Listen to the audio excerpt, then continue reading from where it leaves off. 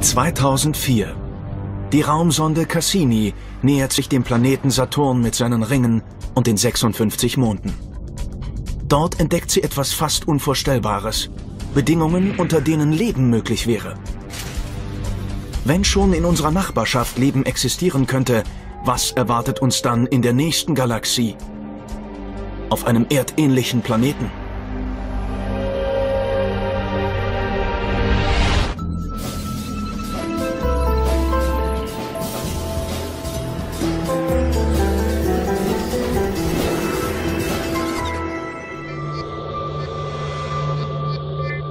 Jahrtausende lang haben wir Menschen zum Himmel geblickt und uns gefragt, ob wir allein im Universum sind.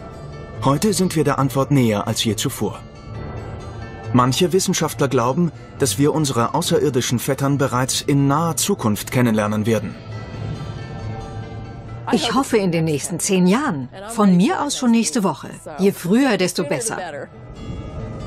Möglicherweise werden sich diese Außerirdischen nicht auf fernen Planeten in unerforschten Galaxien finden, sondern gleich um die Ecke, in unserem eigenen Sonnensystem. Wissenschaftler möchten beweisen, dass außerirdisches Leben selbst in gänzlich lebensfeindlichen Welten möglich ist. Wir begeben uns nun auf eine Reise zu sieben Orten unseres Sonnensystems, um herauszufinden, wo diese Wesen leben und wie sie aussehen könnten.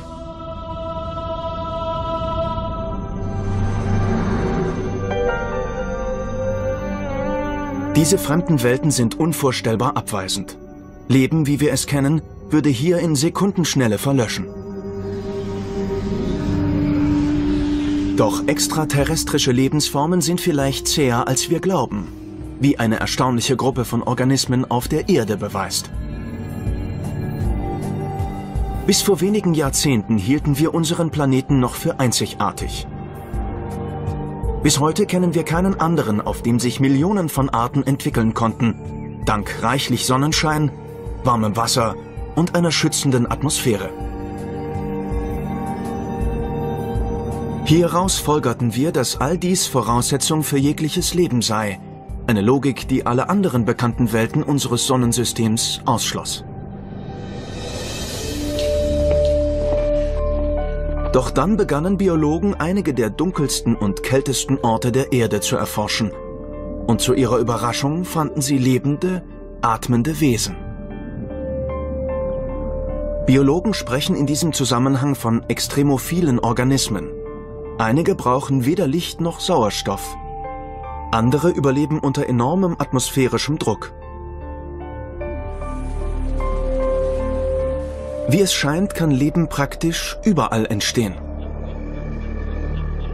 Nehmen wir beispielsweise die Antarktis.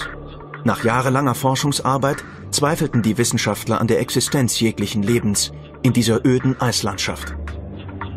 Doch 1999 nahmen Forscher zwei Meter unter dem Eis eine Gesteinsprobe und machten eine erstaunliche Entdeckung.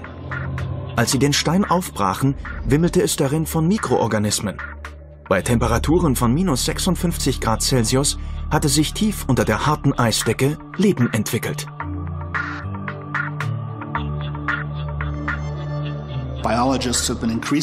Die Biologen finden immer öfter Lebewesen. Natürlich keine Kängurus, sondern einfache Lebensformen, die sehr niedrigen oder hohen Temperaturen, starkem Druck und mancherorts sogar einer hohen Strahlenbelastung standhalten können. Wie es scheint, ist die Vielfalt der möglichen Lebensräume auf unserem Planeten größer als gedacht. Und wenn Leben unter solch extremen Bedingungen nicht nur auf der Erde, sondern auch anderswo in unserem Sonnensystem möglich wäre? Stellen Sie sich das vor. Wenn unser Sonnensystem oder unser Planet nicht irgendwelche wundersamen Eigenschaften aufweist, dann muss das Leben etwas ganz Alltägliches sein. Dann muss es unzählige belebte Welten geben, von denen einige auch intelligentes Leben beherbergen könnten.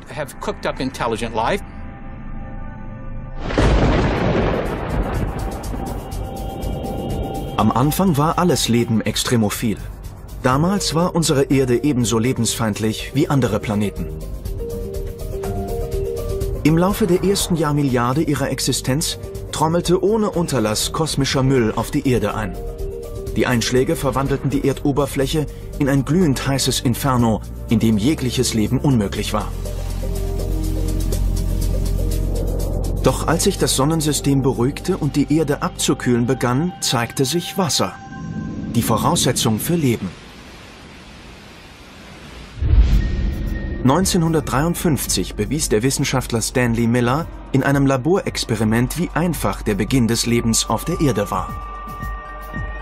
Er mischte Wasser mit Wasserstoff, Methan und Ammoniak, die Substanzen der frühen Erdatmosphäre. Dann setzte er seine Lösung elektrischen Entladungen aus, die Gewitterblitze simulieren sollten. Seine Ergebnisse erregten weltweit Aufsehen. Miller hatte organische Moleküle produziert, sogenannte Aminosäuren, die Bausteine der Proteine und damit allen Lebens sind. Wenn Blitze also auf der Erde Leben schufen, könnten sie dies nicht auch auf anderen Planeten getan haben? Inzwischen haben Weltraumsonden die Substanzen aus Millers Experiment überall in unserem Sonnensystem gefunden, sowie einen Grundbaustein des Lebens.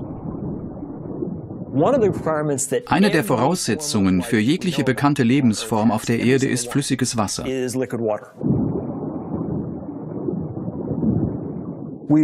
Bei unserer Suche nach bewohnbaren Himmelskörpern haben wir uns daher von Hinweisen auf flüssiges Wasser leiten lassen. Wir werden auf unserer Reise sieben Welten besuchen. Einige davon verfügen vielleicht über Wasser. Nach Ansicht von Wissenschaftlern könnten sie außerirdisches Leben bergen. Dieses Leben könnte ähnlich wie auf der Erde begonnen haben, doch wie es heute aussieht, lässt sich nur vermuten. Unsere erste Etappe ist eine Welt, die unsere Fantasie seit jeher beflügelt hat. Unser Nachbarplanet Mars. Von allen Planeten, auf denen wir nach Leben gesucht haben, ist er der am meisten erforschte. Steve Squires leitet die Mars Rover Mission der NASA und wird die Marsbewohner vielleicht als Erste zu Gesicht bekommen. Der Mars hat die Menschen schon immer besonders fasziniert. Wir wissen seit langem genug über diesen Planeten, um sagen zu können, dass er der Erde wohl am ähnlichsten ist. Seine Atmosphäre und die Jahreszeiten mögen erdähnlich sein, doch wir Menschen würden auf dem Mars schnell sterben. Denn die Luft ist dünn. Der Luftdruck beträgt nur ein Hundertstel des irdischen Luftdrucks auf Meereshöhe. Zudem liegt seine Umlaufbahn ungünstig in der Nähe eines Asteroidengürtels. Die Atmosphäre des Mars ist zu dünn, um ihn zu schützen, und so wird seine Oberfläche fortwährend von Asteroiden bombardiert. Heftige Winde verursachen Sandstürme, die wochenlang auf dem gesamten Planeten wüten und bis zu acht Kilometer hohe Tornados erzeugen. Während mittags am Äquator noch 0 Grad herrschen, fallen die Temperaturen nachts auf minus 70 Grad. David Grinspoon ist Kurator für Astrobiologie am Museum für Natur und Wissenschaft in Denver.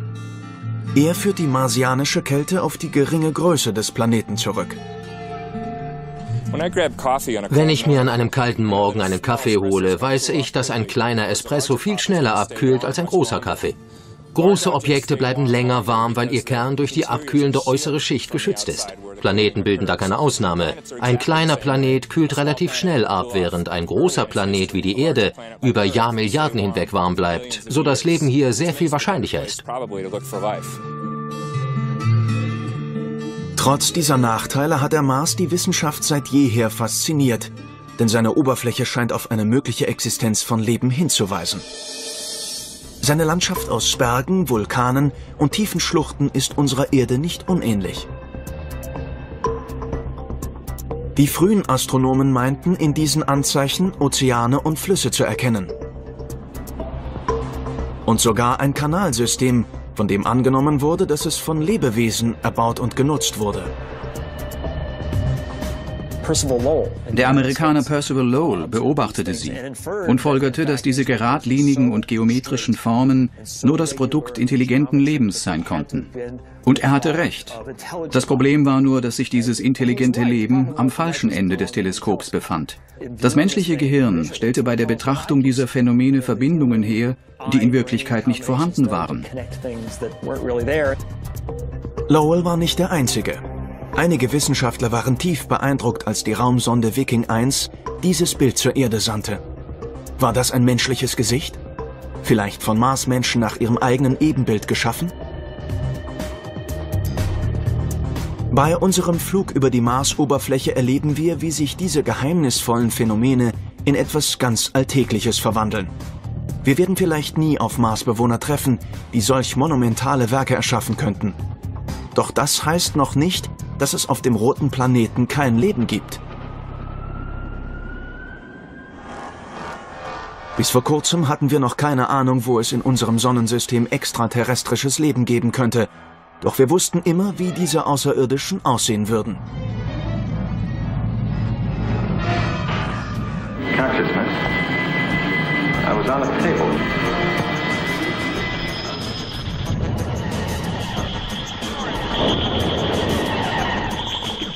Normalerweise tragen unsere Außerirdischen menschenähnliche Züge. Ob feindselig oder liebenswert, sie wirken zumeist wie Mutanten von uns Menschen. Zwei Arme, zwei Beine, Nase, Mund und kein Sinn für Humor. So sieht das Kino die Außerirdischen. Als Chefastronom des kalifornischen SETI-Instituts hat Seth Shostak es sich zur Aufgabe gemacht, auf die Radiosignale einer fernen außerirdischen Zivilisation zu horchen. Es gibt keinen Grund zu der Annahme, dass sie aussehen wie wir, denken wie wir oder gar eine Sprache haben. Die Vielfalt des Lebens auf der Erde zeigt uns, dass die Natur ganz verschiedene Lebensformen entwickeln kann. Doch angenommen, es gäbe Leben auf dem Mars.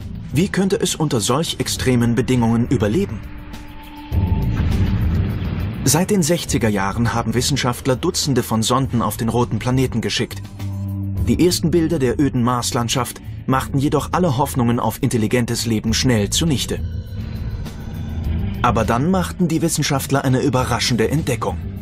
Zwar findet sich kein Hinweis auf künstliche Marskanäle, doch es gibt Anzeichen dafür, dass es auf dem Mars Wasser gegeben haben könnte. Manche glauben, dass der bedrohliche rote Planet einst blau gewesen sein könnte.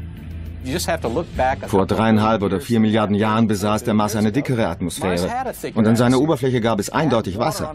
Vielleicht entwickelte sich auch Leben, das sich später auf die veränderten Bedingungen einstellen musste. Diese Lebewesen könnten sich angepasst und dank unterirdischer Wasserreserven überlebt haben. Es wurden unter anderem schmale Rinnen an den Wänden der Krater entdeckt. Und es gibt Hinweise darauf, dass einige dieser Rinnen erst in den letzten Jahren entstanden sind. Doch ohne Oberflächenwasser, mit arktischen Temperaturen und einer ultradünnen Atmosphäre ist der Mars ein Planet, auf dem sich nur ganz bestimmte Lebewesen wohlfühlen könnten. Extremophile. Extremophile Organismen gedeihen selbst an den lebensfeindlichsten Orten. Um herauszufinden, wo sie sich auf dem Mars verstecken könnten, nehmen wir Kurs auf die Valles Marineris. Dieser weitläufige Grabenbruch an der Marsoberfläche ist mancherorts 20 Mal breiter als der Grand Canyon und so tief wie der Mount Everest hoch ist. Seen könnten einst dieses Tal geflutet haben. Vielleicht haben sie Leben beherbergt. Als das Wasser verschwand, könnten sich die Lebewesen an die härteren Bedingungen angepasst haben. Wir werden nichts über diese Extremophilen erfahren, bis wir sie gefunden haben. Doch sie könnten Lebewesen ähneln, die an extremen Orten der Erde existieren. Ein neuer Wissenschaftszweig, die Astrobiologie, erforscht Lebensformen auf der Erde, die es auch im Weltraum geben könnte. Der Astrobiologe Rocco Mancinelli ist auf der Suche nach Extremophilen auf dem Mars. Wenn ein Teil des Wassers unter die Oberfläche trat, was ist dann aus ihm geworden? Es sammelte sich in Soletaschen. Und welche Organismen können in einer Soletasche überleben? Salzliebende Organismen.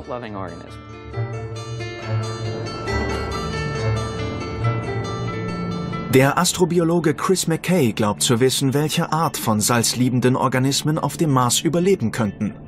Lebewesen, wie er sie an einem der trockensten und salzigsten Orte der Erde gefunden hat. Lebewesen auf dem Mars sind mit derselben Herausforderung wie das Leben hier im Death Valley konfrontiert, der Trockenheit. Sie erfordert einen hohen Anpassungsgrad. Vor tausenden von Jahren war das Death Valley, ähnlich wie die Mariner-Täler auf dem Mars, von einem Salzsee bedeckt.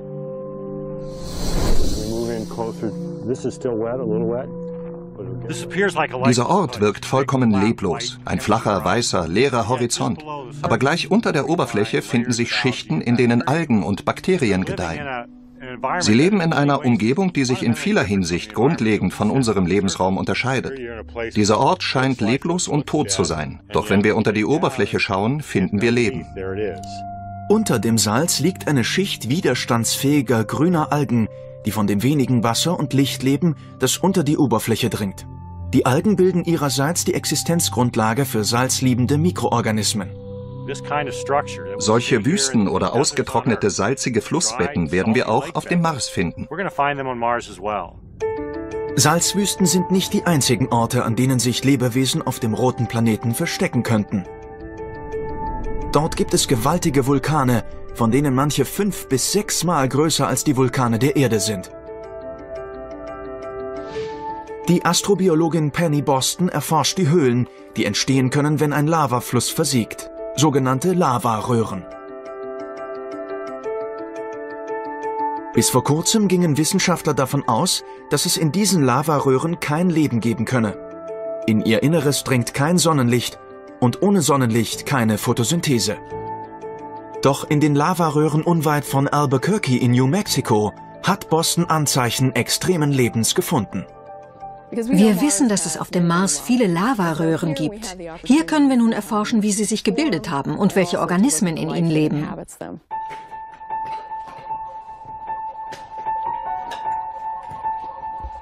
Die von Boston entdeckten Extremophilen scheinen sich hier wohlzufühlen. Sie leben von Mineralien in der Höhlenwand. Betrachten wir die Wand aus der Nähe, erkennen wir diese weißen Flecken, die sich auf dem schwarzen Basalt ausbreiten.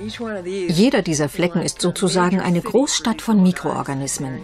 Sie siedeln sich in den kleinen Vertiefungen im Basalt an. Diese kleinen Dinger sind perfekt an die eisigen Temperaturen angepasst. Sie sehen nie das Licht und finden ihre Nahrung in ihrer Umgebung. Gibt es ähnliche Lebewesen auch in den Höhlen unter den Vulkanfeldern auf dem Mars? Penny Boston geht davon aus. Wir werden dort Leben finden. Ich hoffe nur, dass ich sehr alt werde, damit ich das noch erleben kann.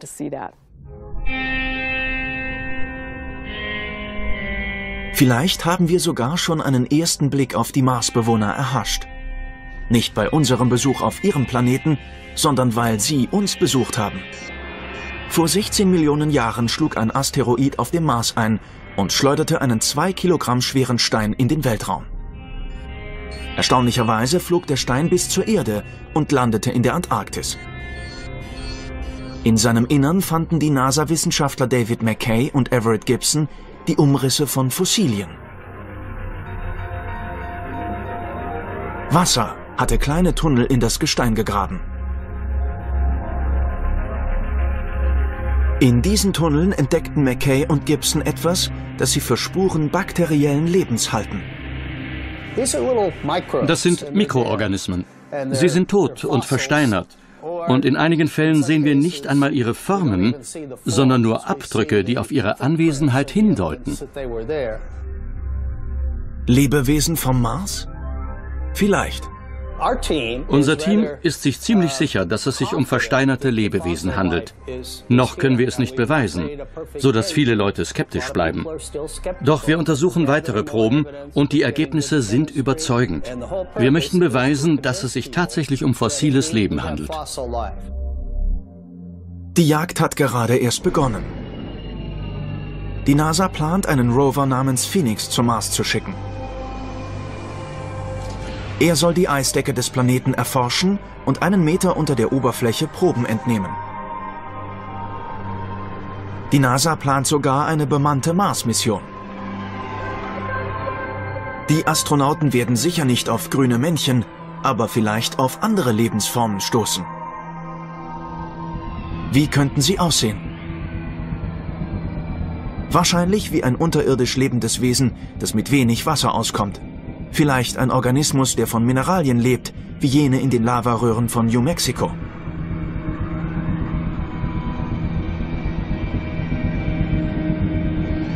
Schon der geringste Fund wäre von enormer Bedeutung. Er würde beweisen, dass Leben nicht nur auf der Erde existiert, sondern auch in unserer direkten Nachbarschaft.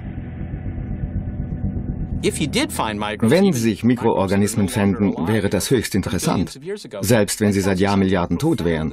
Damit wäre bewiesen, dass sich Leben auch auf anderen Planeten entwickeln kann. Und wenn unser Nachbarplanet auch Leben entwickelt, wäre es kein seltenes Ereignis und kein Wunder mehr, das ausschließlich auf der Erde geschehen kann. Denn es ist ja wahrscheinlich schon an vielen Orten geschehen. Und der Mars ist nur unsere erste Station. Wir setzen unsere Expedition fort und nehmen Kurs auf noch extremere Orte, an denen jegliches Leben wirklich nicht von dieser Welt wäre.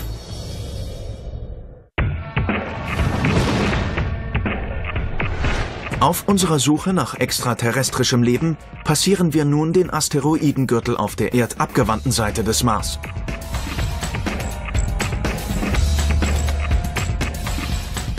Hier regiert der Jupiter, doch dieser größte Planet unseres Sonnensystems ist äußerst lebensfeindlich.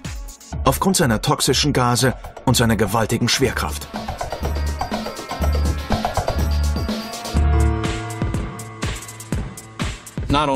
Auf dem Jupiter ist es nicht nur sehr kalt. Er hat auch eine Zehntausende von Kilometern dicke Atmosphäre, die unter anderem aus Ammoniak und Methan besteht.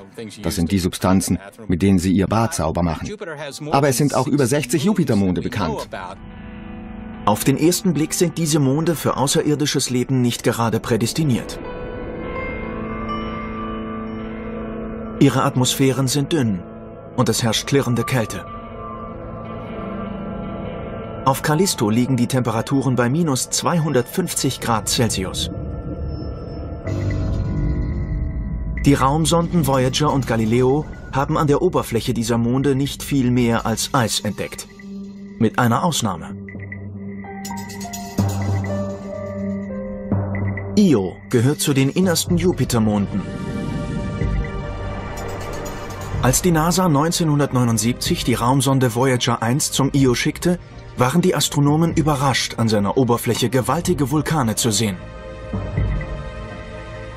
Io ist der vulkanisch aktivste Himmelskörper in unserem Sonnensystem. An seiner Oberfläche wird ständig vulkanisches Material ausgestoßen. Was also treibt den Vulkanismus dieses frostigen Mondes an? Erstaunlicherweise ist es die immense Schwerkraft des Jupiter. Die Monde werden von dem starken Gravitationsfeld des gewaltigen Planeten angezogen. Je näher der Mond, desto stärker wirkt diese Kraft, sodass sein Gesteinsmantel gleichsam gedehnt wird. Aber einige dieser Monde haben elliptische Umlaufbahnen. Wenn sie sich also Jupiter nähern, dehnt sich ihre Kruste in seine Richtung. Sobald sie sich wieder entfernen, nimmt die Kruste wieder ihre runde Form an. Durch diese fortwährende Gezeitenbewegung wird tief im Innern des Mondes Reibungshitze erzeugt. Das ist so, als würden zwei Stöckchen aneinander gerieben, um ein Feuer zu entfachen. Die Gravitation des Jupiter erhitzt Io von innen.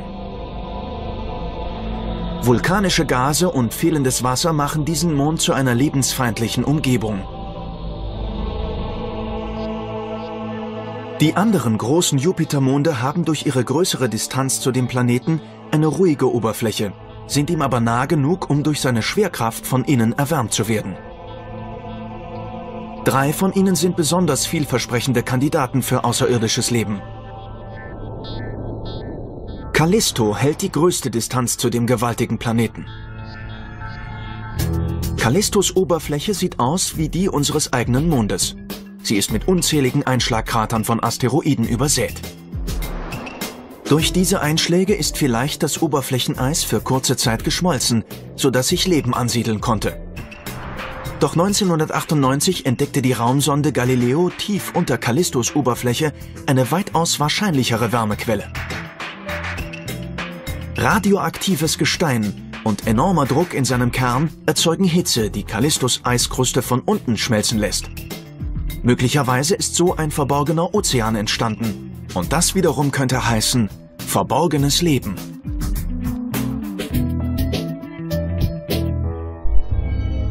In geringerer Entfernung zum Jupiter stoßen wir auf seinen größten Mond, Ganymed. Ganymed ist ebenfalls mit Einschlagkratern übersät, deren Ränder an seiner Oberfläche wie eine Art Reifenprofil hervortreten. Diese hellen Flecken sind Krater mit einem Durchmesser von bis zu fünf Kilometern, die wahrscheinlich mit Eis überzogen sind. Doch diese Aufnahmen enthalten faszinierende Hinweise auf mögliches Leben. Sie zeigen fließende Gletscher.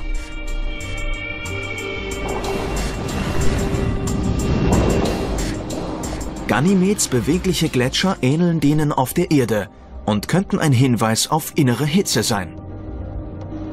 Ganymed könnte daher genau wie Callisto einen verborgenen Ozean besitzen, der unter einer bis zu 200 Kilometer dicken Eisschicht begraben liegt. Der dritte Mond dieser Reiseetappe ist der faszinierendste. Sein Name ist Europa und er ist dem Jupiter von allen drei Monden am nächsten. Diese Nähe zu dem gewaltigen Planeten könnte bedeuten, dass Europas Kern sehr heiß ist, viel heißer als die Kerne von Callisto oder Ganymed. Europas Oberfläche dagegen ist kalt. Diese Kombination erhöht die Wahrscheinlichkeit von Leben, denn dazwischen könnte eine gemäßigte Zone liegen. Europas dicke Eiskruste ist von mächtigen Spalten durchzogen ein Zeichen, dass das Eis ständig in Bewegung ist. Auf unserem eigenen Planeten finden sich ganz ähnliche Spalten, in der Eisdecke des Nordpolarmeers. Europas Eiskruste könnte also den größten Ozean des Sonnensystems bedecken, doppelt so groß wie alle Meere der Erde zusammen. Europas zerfurchte Eisdecke ist ein starkes Indiz für die Existenz von flüssigem Wasser außerhalb unseres Planeten. Dieses Wasser könnte unsere Chance sein, außerirdisches Leben in unserem Sonnensystem zu finden. Wenn es diese Ozeane gibt, und die Chancen dafür stehen ziemlich gut, dann existieren sie seit mindestens vier Milliarden Jahren. Könnte sich in so langer Zeit Leben entwickelt haben? Mir scheint das sehr wahrscheinlich. Europas Ozean ist ein ebenso guter Lebensraum für Organismen wie die Ozeane hier bei uns auf der Erde. Wahrscheinlich könnten unsere Meeresbewohner sogar in Europas Ozean überleben. Andererseits, Europas Meere wären sehr kalt und vielleicht sogar schlammig. Zudem verhindert eine bis zu 15 Kilometer dicke Eisdecke das Eindringen von Sonnenlicht. Deshalb hätte die Wissenschaft Leben auf Europa nie für möglich gehalten, wäre da nicht eine revolutionäre Entdeckung an der Küste von Ecuador. Kilometer tief im Pazifik fanden Biologen große Populationen von Röhrenwürmern, Krebsen und sogar Tintenfischen. Diese Tiere überleben hier trotz völliger Dunkelheit, extremer Kälte und enormen Wasserdrucks. Sie ernähren sich von Bakterien, die keine Sonne als Energiequelle benötigen, sondern von chemischen Stoffen aus unterseeischen Geysiren leben. Ähnliche Heißwasserausbrüche auf denen eine eigene Nahrungskette aufbaut, könnte es auch auf Europa geben. Um dies herauszufinden, planen die NASA-Wissenschaftler die Entsendung einer Landekapsel auf Europas Oberfläche. Einige möchten sogar einen Kryobot einsetzen, eine Sonde, die sich durch das Eis hindurch arbeitet, um die darunterliegende Flüssigkeit zu erforschen. Das wäre kein großes Problem. Das Eis bräuchte nur zu schmelzen. Allerdings sprechen wir hier nicht bloß über 100 Meter, sondern über rund 20 Kilometer. Man müsste eine Leine mit einer Videokamera und einer Lampe hinablassen, um sich dort umzuschauen.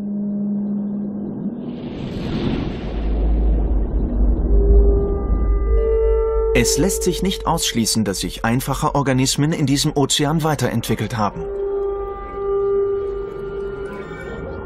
Möglicherweise fänden sich sogar höher entwickelte Lebensformen, ähnlich unseren eigenen Meeresbewohnern. Wahrscheinlich jedoch würden wir auf Mikroorganismen stoßen, aber selbst die würden unsere Vorstellung von der Entstehung und Evolution des Lebens grundlegend verändern. Europa war vergleichsweise warm. Doch wie sieht es auf den kältesten Himmelskörpern aus?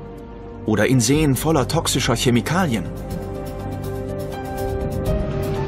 Auf unserer Reise in weiter entfernte Regionen des Universums werden wir solche Welten kennenlernen. Unser nächstes Ziel liegt Milliarden Kilometer von der Sonne entfernt und damit von Licht und Wärme. Wir fliegen am Jupiter vorbei und nehmen Kurs auf den zweitgrößten Planeten unseres Sonnensystems.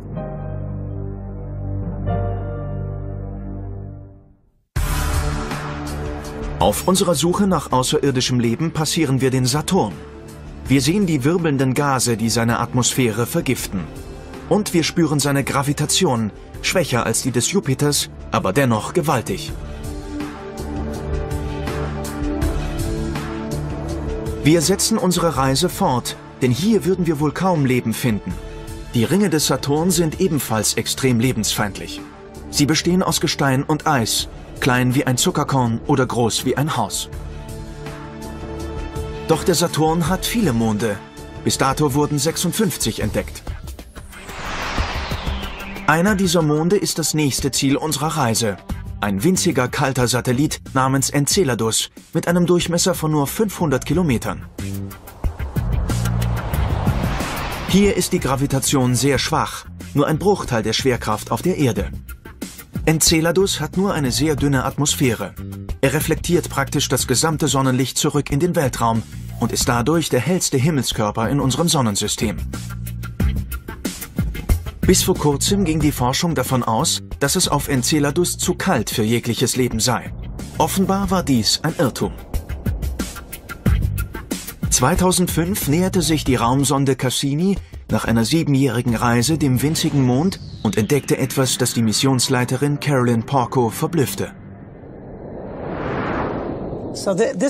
Das ist die Aufnahme, die uns einfach sprachlos machte. Dies sind die Wasserfahnen eines Geysirs. Das heiße Wasser und der Dampf des Geysirs treffen auf das kalte Vakuum und schießen als Eisfontäne in den Weltraum. Da sie von keiner Gravitation zurückgehalten wird, kann die Eiswolke die Größe des Mondes erreichen. Porco hatte nie zuvor etwas Vergleichbares gesehen. Ein Himmelskörper wie Enceladus ist der Traum eines jeden Planetenforschers. Diese Geysire stoßen Fontänen von Wasserdampf und Eispartikeln aus, die noch hunderte von Kilometern über Enceladus Südpol sichtbar sind. Hierfür gibt es nur eine Erklärung. Der winzige kalte Enceladus ist in seinem Innern kochend heiß. Ähnlich wie beim Jupiter werden auch die Monde des Saturn von dessen gewaltigem Gravitationsfeld angezogen, was tief in ihrem Innern Reibungshitze erzeugt. Nach unserem heutigen Wissensstand lässt dies nur die Schlussfolgerung zu, dass es im warmen Innern von Enceladus flüssiges Wasser geben könnte. Unsere Untersuchungen deuten darauf hin, dass die Temperaturen hoch genug sind, um Eis schmelzen zu lassen. Hitze, flüssiges Wasser. Selbst die entferntesten Regionen unseres Sonnensystems verfügen also über die Voraussetzungen für Leben. Doch welche Art von Organismen könnte im heißen Wasser eines Geysirs überleben? Die heißen Quellen auf der Erde geben uns eine Vorstellung davon. Lange wurde davon ausgegangen, dass in den heißen Quellen des Yellowstone Nationalparks kein Leben existieren könne. Doch dann entdeckten Biologen in diesen Quellen Mikroorganismen, die sich von im Wasser gelösten chemischen Stoffen ernähren. Heute werden sie als Thermophile bezeichnet. Die widerstandsfähigsten unter ihnen können in kochendem Wasser überleben. Könnte es auch auf Enceladus Thermophile geben? Um dies herauszufinden, müssen wir den Trabanten aus der Nähe betrachten. Enceladus Oberfläche ist zu kalt für jegliches Leben. Hier herrschen Temperaturen von minus 200 Grad Celsius. Doch was ist mit dem heißen Wasser im Inneren des Mondes? In der Eisfontäne über Enceladus hat die Raumsonde Cassini Kohlendioxid und Methan gefunden. Chemische Stoffe, die die Lebensgrundlage für Mikroorganismen bilden, wie die heißen Quellen des Yellowstone Nationalparks beweisen. Im Innern dieses Mondes gibt es sehr wahrscheinlich flüssiges Wasser. Zusammen mit der nachweislichen Existenz einfacher organischer Verbindungen und vielen anderen Faktoren macht ihn dies zu einem Himmelskörper von großem astrobiologischem Interesse. Neben Enceladus versetzt auch ein anderer Saturnmond die Astronomen in Erstaunen. Titan. Er ist eigentlich der unwahrscheinlichste Kandidat für außerirdisches Leben. Titan erhält nur äußerst wenig Sonnenlicht, etwa ein Tausendstel der Sonneneinstrahlung der Erde. Weltraumsonden haben auf Titan zwar Eis, aber kein flüssiges Wasser entdeckt. Und bei Temperaturen von minus 200 Grad ist dieses Eis steinhart. Was also könnte Titan zu einer möglichen Umgebung für außerirdisches Leben machen? Tatsächlich ähnelt Titan in vieler Hinsicht der Erde, aber nicht der Erde, wie wir sie heute kennen. Titan ist der faszinierendste Himmelskörper des Saturnsystems. Seine Oberfläche ist seit langem Gegenstand des wissenschaftlichen Interesses. Sie ähnelt weniger unserer heutigen Umgebung, als vielmehr dem Zustand der Erde lange bevor auf unserem Planeten Leben entstand.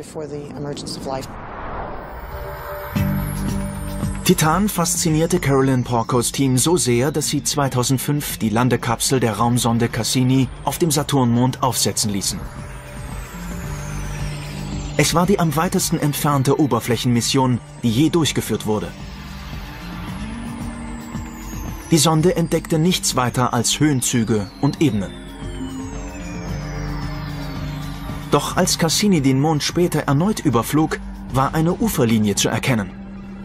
Schon bald kamen Tausende von Seen ins Bild, von denen zumindest einer größer als die größten nordamerikanischen Seen ist. Erstmals war auf einem anderen Himmelskörper eine Flüssigkeit entdeckt worden. Die Landschaft erinnert an Minnesota, nur dass die Seen nicht aus Wasser, sondern flüssigem Erdgas bestehen. Aber das ist auch eine Flüssigkeit. Das ist kein Schnee, sondern das sind Methanflocken. Genau wie die Erde verfügt Titan über Wetter, das jedoch eher psychedelisch anmutet. Es gibt sogar Hurricanes aus Methan. Was da auf Titan regnet, verdunstet und in Flüssen fließt, ist kein Wasser, sondern Methan. Es verhält sich genau wie unser Wasser hier auf der Erde. Wie es auf Titan aussieht, sehen wir hier, nur dass der Himmel in einen orangenen Dunstschleier gehüllt ist. Das Weiße ist Wassereis, das auf Titan steinhart gefroren ist, und die Flüssigkeit hier, flüssiges Methan. So ähnlich könnte es vor vier Milliarden Jahren auf der Erde ausgesehen haben. Wissenschaftler vermuten daher, dass auch Titan ein Brutkasten des Lebens sein könnte. Chemische Vorgänge finden auch bei diesen kalten Temperaturen statt. Zwar nur sehr langsam, aber Titan hatte immerhin vier Milliarden Jahre Zeit. Vielleicht hat sich in dieser Periode Leben entwickelt. Diese Entwicklung müsste allerdings ohne flüssiges Wasser stattgefunden haben. Ein für uns unbekannter Vorgang, doch Wissenschaftler schließen das nicht aus. Als Ersatz könnte das auf Titan so reichlich vorhandene Methan gedient haben. Methan wird auf der Erde als Brennstoff verwendet und galt lange Zeit als giftig für alle Lebewesen. Doch 1997 untersuchten Forscher Kegel aus Methaneis im Golf von Mexiko. Zu ihrem Erstaunen fanden sie Kolonien von zweieinhalb Zentimeter langen Tausendfüßler-ähnlichen Würmern, die in der gefrorenen Substanz gediehen. Es wird angenommen, dass die Würmer Bakterien fressen, die sich von dem Methan ernähren. Viele Stoffe, die wir für tödlich halten, haben das Potenzial für Leben. Wenn die Evolution einen Weg findet, diese Energiequelle zu nutzen und ihre zerstörerische Wirkung auszuschalten, können sie eine reiche Lebensgrundlage bilden. Doch es gibt noch ein weiteres Hindernis für die Entwicklung von Leben auf Titan. Da der Saturnmond nur ein schwaches Magnetfeld besitzt, könnten Lebewesen an seiner Oberfläche kosmischer Strahlung ausgesetzt sein. Doch das ist möglicherweise kein Problem für Extremophile, wie wir sie auf der Erde finden. Biologen haben in der Nähe des zerstörten Atomreaktors von Tschernobyl eine Fülle von Leben entdeckt, das sogar in giftigen, radioaktiv verseuchten Pfützen schwimmt und sich von den zerfallenden Molekülen ernährt. Vielleicht verfügen die Lebensformen auf Titan über dieselben Fähigkeiten. Um auf dem Saturnmond Leben zu finden, müssten wir in seinen Methanseen tauchen, um dort nach toxitoleranten Bakterien zu suchen. Möglicherweise fänden sich auf seiner steinharten Eisdecke sogar Mikroorganismen, die ähnlich wie die Lebewesen von Tschernobyl gegen radioaktive Strahlung resistent sind. Organismen, die sich von Methan ernähren, könnten Wärme abgeben, das Eis schmelzen lassen und so vielleicht eine weitere Quelle des Lebens schaffen. Das Leben auf Titan wäre zweifellos ein seltsames Gebräu. Doch die merkwürdigste Welt, in der Wissenschaftler Leben vermuten, liegt lange nicht so weit von der Erde entfernt.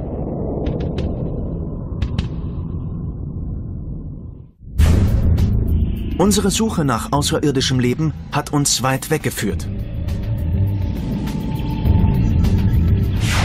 Wir haben kalte Wüsten, verborgene Ozeane und Methanseen besucht.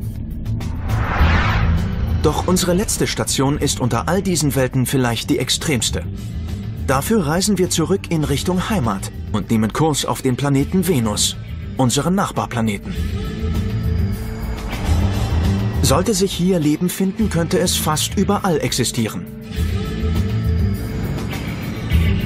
Um die Oberfläche der Venus zu erreichen, müssen wir durch eine dichte gelbe Wolkenschicht fliegen.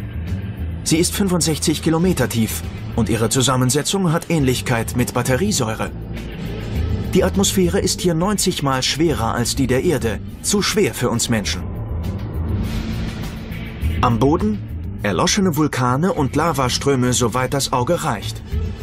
Sie bedecken 85 Prozent der Oberfläche des Planeten. Kaum vorstellbar, dass Venus einst gewaltige Ozeane besaß.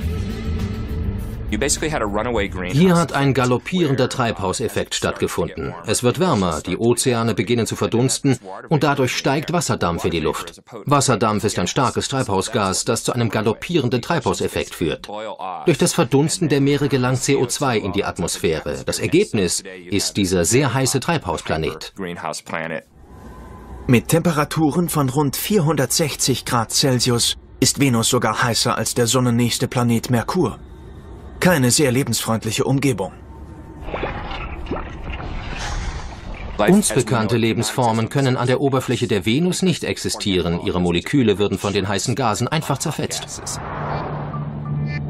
Doch wir interessieren uns nicht für die Oberfläche, sondern für die Atmosphäre. 1982 erreichte die sowjetische Raumsonde Venera 14 die Venus. In einer Höhe von 50 Kilometern wurden von ihr Temperaturen gemessen, die weit unter denen an der Oberfläche lagen. Außerdem entdeckte die Sonde Moleküle eines Grundbausteins des Lebens, H2O.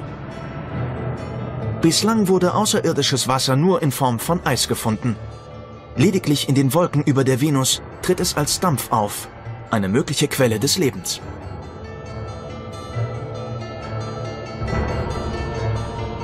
Doch die Wolkendecke der Venus besteht zum Großteil aus stark ätzender Schwefelsäure. Schwefel galt lange als absolut lebensfeindliches Element.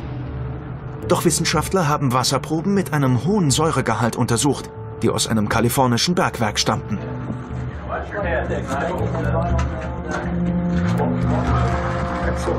In Schwefelsäure, die stark genug war, um Metall zu ätzen, sich durch Kleidung zu fressen und menschliches Fleisch zu zersetzen, fanden sie Leben. Acidophile Extremophile. Diese Lebewesen ernähren sich von Schwefelverbindungen wie Eisensulfid. Sie fressen das Eisen und scheiden den hochgiftigen Schwefel aus. Gibt es in der Atmosphäre der Venus ähnliche Extremophile? Der Astrobiologe David Grinspoon hält dies für möglich. Vielleicht leben in der Wolkendecke der Venus einige solcher Organismen. Schwefel absorbiert ultraviolettes Licht und ich könnte mir vorstellen, dass es zu photochemischen Reaktionen kommt, bei denen chemische Stoffe durch ultraviolettes Licht in einen höheren Energiezustand versetzt werden, indem sie dann als Nahrung dienen. Welche Eigenschaften bräuchten diese außerirdischen Lebewesen? Sie müssten hohe Temperaturen und enormen atmosphärischen Druck aushalten.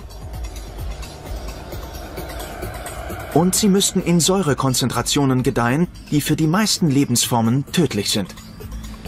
Vielleicht wären sie so etwas wie eine widerstandsfähigere Variante der azidophilen Extremophilen aus dem kalifornischen Bergwerk. Häufig finden wir Leben an Orten, die wir für lebensfeindlich hielten. Mit Aussagen wie, das ist unmöglich, es kann in den Wolken der Venus kein Leben geben, sollten wir sehr vorsichtig sein. Sie sind vielleicht nur Ausdruck unserer eigenen Unwissenheit oder unserer beschränkten Fantasie. Die Kreativität der Natur kennt keine Grenzen, wenn es darum geht, Probleme zu lösen. Bei unserer Rückkehr zur kühlen blauen Erde mit ihrer üppigen Vegetation wissen wir unsere lebensfreundliche Umwelt wieder zu schätzen. Doch wie wir gelernt haben, kann Leben selbst an den extremsten Orten existieren. Extremophile sind vielleicht so etwas wie die Urform des Lebens im Universum und sie könnten sogar die vorherrschende Lebensform sein. Wäre es möglich, dass sie sich aus diesen bescheidenen Anfängen weiterentwickelt haben? Könnte es im Weltraum auch intelligentes Leben geben? Die Wissenschaftler des kalifornischen SETI-Instituts bemühen sich seit über 40 Jahren, diese Frage zu beantworten. Chefastronom Seth Shostak ist davon überzeugt, dass er Geräusche von Außerirdischen erkennen würde.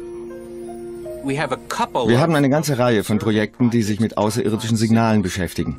Unser größtes Projekt betrifft die Suche nach Radiosignalen. Hierbei richten wir zahlreiche Antennen auf benachbarte Sternsysteme, von denen wir denken, hey, hier könnte es einen Planeten geben, der genau wie die Erde ist. Wir hoffen, auf diese Weise Signale von Außerirdischen zu empfangen, die intelligent genug sind, um einen Sender zu bauen. Es ist eine Reise, die nie von zu Hause wegführt. In letzter Zeit konnten Astronomen genügend Licht von Planeten in fernen Sonnensystemen einfangen, um auf ihre chemische Zusammensetzung zu schließen. Sie fanden Elemente, aus denen sich RNA bilden ließe, einer der Grundbausteine des Lebens auf der Erde. Und im 20 Lichtjahre entfernten Sternbild Waage fanden europäische Astronomen einen Planeten, der warm genug sein könnte, um an seiner Oberfläche flüssiges Wasser zu besitzen. Genau wie die Erde.